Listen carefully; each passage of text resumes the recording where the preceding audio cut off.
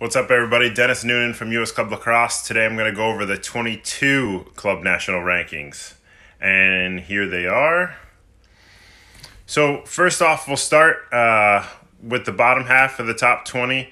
Um, you know, BBL, Sweet Lax, and Legacy. Um, all really strong teams um, have had signature wins over the course of the fall and last summer.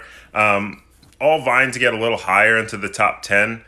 Um, I think the team that sticks out to me the most and that I have gotten the most response from is Mesa. Uh, you know, Mesa had a huge win over 91.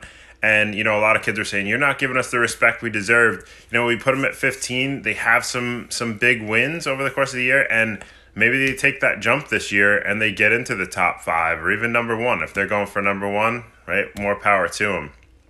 Uh, then Sweet Lax, Florida. I like Sweet Lax, Florida a lot. Uh, I think those boys are starting to mesh together.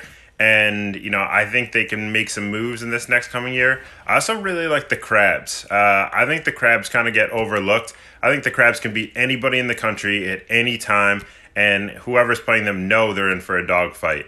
Uh, then let's go with you know juice cherries and leading edge at, at, eight and seven. You know juice cherries everybody knows the cherries coming out of michigan. Um, they are a tough out. If you if you get them matched up in a tournament you know it's going to be a battle. And then leading edge you know leading edge i think same as the crabs they could be number one in the country on certain days and then they can kind of pull back. Uh, you know six and five 91 maryland prime time both tons and tons of athletes on those teams. There's going to be tons of commits coming from those guys. We'll see what, what they have in store for 2020.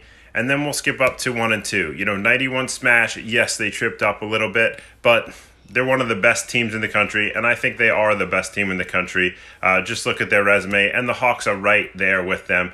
Really, that's the one and two that I'm looking at. And I think they deserve uh, those spots, and it's going to be a great summer. Uh, a lot of battles out of this 22 class, and we're looking forward to it.